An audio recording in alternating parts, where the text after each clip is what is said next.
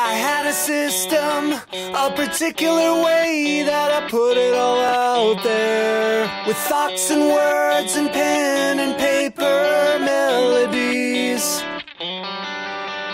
Was on a mission, a continuous